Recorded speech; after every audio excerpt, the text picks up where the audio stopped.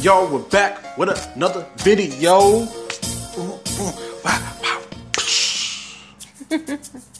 DanYo, Tita. today we're doing the top 10 greatest hip hop songs of all time.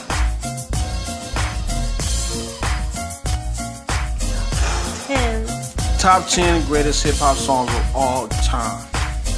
Now, me and Tita been doing our research. We been putting songs in, taking songs out, putting songs in. We made this list up. Y'all gonna have your own list. But we've been creating this list for like a, what a week? A week or so. About a week we've been working on this list. research and research. This is very difficult for us to put together, but we did it. We did. and um, we're gonna get it popping for y'all. At the end of this video, we want y'all to definitely comment. And tell us what y'all think about it. But before we get this video started, I want y'all to give this video a like, and I want y'all to subscribe to our channel. That's what I want y'all to do. We wait, we wait. All right, we're back. That was fast. That was fast. Now let's start the video. Top 10 greatest hip hop songs of all time. Top ten. Top 10. You want to start it off? Number 10. God. Who's number 10? Number ten. Wu Tang Clan. Try. Wu Tang King. Wu-Tang Clan. I'm sorry. Alright, Clan. There's some of them that I don't know. I don't know how to pronounce the name right. I'm not good with the Wu-Tang names, but Clan. I'm good at the song. Okay. Wu Tang Clan Triumph is our number 10. It was released in 1997. Features all the Wu Tang members. And a little fun fact is RZA did an interview back in 2005 mm-hmm. Saying that um, radio stations and video stations did not want to play the song Triumph No, why? because the song was too long. The song is about six minutes long, and radio didn't want to play it. Video state, you know, BET, MTV, they didn't want to play it. He said, "Y'all gonna play it? I'm not gonna edit this song. Y'all gonna play it, or you're not gonna do nothing at all." Damn. And as y'all know, we saw the video, we saw the song, and they played it. So, congratulations to them. Yay. Number ten. Number ten. Yep. Now number nine. Number nine. LL Cool J. Mama said knock you out. Mama said knock you out. Uh. LL Cool J. That came out in 1990. 1990. That's our number nine. Ooh. Um, L Cool J said uh, he explained the title of this song. It came to him when he was having trouble finding his direction with his songwriting. So his grandmother heard about him having problems. She said, so she gave him some simple advice and said, knock them out. Uh, Go and knock them out. Going on. To hear the song, Mom said, knock you out. You out. Number eight. Number eight. Warren G and Nate Dogg regulators. Warren G and Nate Dogg regulators. Number eight. Number eight.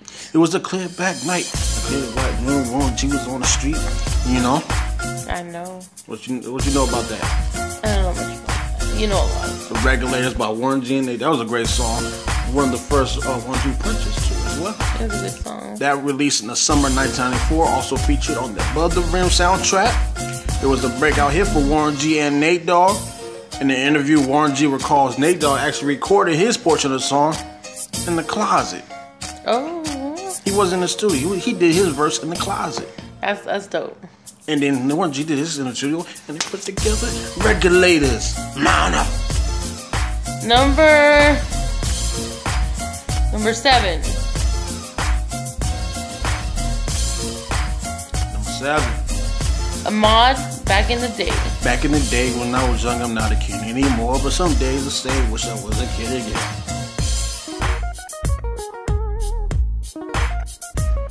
Remember that song? Gets featured. That's like a very popular hip hop song.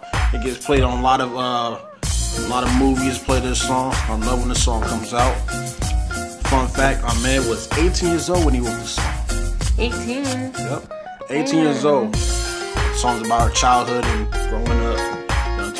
having fun and different things. Probably. He was 18 years old. I, never knew he was 18 years old. Man. That's tight. All right. That's talent. Yep. What's number? What's number six? Number six. Biggie. Biggie Juicy. Classic. Biggie's first hit, released in 1994, uh, about his humble beginnings and unlikely rise to fame. In the song, he mentions several uh, hip hop pioneers who influenced him. A couple fun facts about the song. Okay. Well, facts. Facts. Four days before the song came out, Uh-huh. Biggie married Faith Evans. Oh, Did you know that? I did not know I that. didn't know that either. And music producer Pete Rock claims that Sean Puffy Combs, aka Diddy, stole the juicy beat from him. Ooh. Did you know that? I didn't know that. I didn't know that. Ooh. I didn't know that.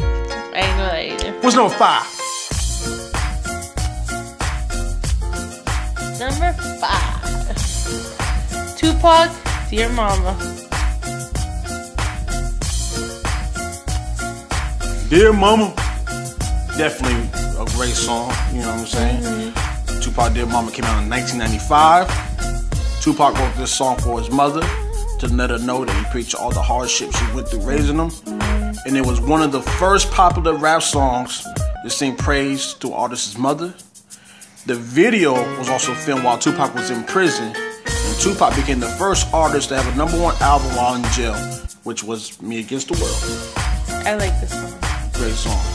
Very Does it make you cry? Yes. It's one of the songs that made. Gotta play this song on Mother's Day.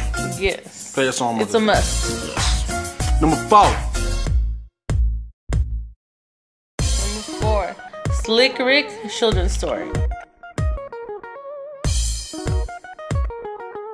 Slick Rick Children's Story came out in 1988. You know, it tells a tale of a 17 year old boy who attempts to rob an undercover detective. There's a point a gun at him. A teenager has second thoughts about pulling the trigger and makes a run for it. Then he steals a car, which he later crashes. Then he survives and he grabs a pregnant lady and points a gun at her. But deep in his heart, he's like, yo, this is wrong. So he let the lady go and he starts to run. And the song ends with the cops shooting him. What you think? It ain't funny, so don't you dare laugh. Oh. Slick Rick. 19, that's a great song. 'Cause That's a good I like it because Slick Rick, you know, the storytelling songs are always the best. You know what I mean? That sounds like a good one. It's dope. It tells a story to it. Mm-hmm. Every song does, but this one really does. Check out number three. Greatest, Number three. greatest hip hop songs of all time. You ready for it? Yeah. What's number three? Grandmaster Flash, The Message. Oh, Grandmaster Flash, the message.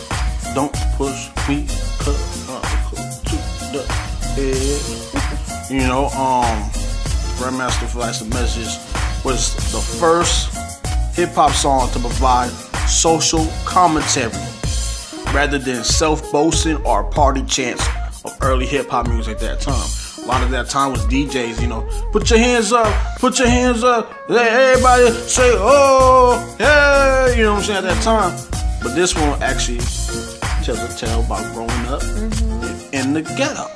Okay. You know what I'm saying? Other things, you know, got crackheads and all that. All that. You know what I'm talking about? So Grandmaster Flash one of the originators of hip hop. Ooh. Mm-hmm. What's number two? Number two. Ice Cube, today was a good day. Ice Cube Today Was a Good Day. Came out in 1993. Okay. Uh, when he was recording his album, this was one of the first ideas for the album. The concept behind the song that inspired was um, at the time he was on top of the rap game. It was the summer of 1992, and he was in a hotel room. He had all this money that he dreamed of, but he's like, "Yo, I'll rap about this gangster stuff. Let me let me rap about the good days and good times." So he did that. Also, DJ Pooh, who did the Friday movies with him, Okay. actually shot this video for him. Really? well. That's pretty cool. Mm-hmm. Now, Now, We just did the top 10 greatest hip hop songs of all time. I know y'all wondering what's number one. What do you think is number What's one number one? To us, like I said, this list was hard to make. It is the number one. You ready? Ready. Number one. The Fresh Prince and DJ Jazzy Jeff Summertime. Summer, summer, summertime. Come on, sing it.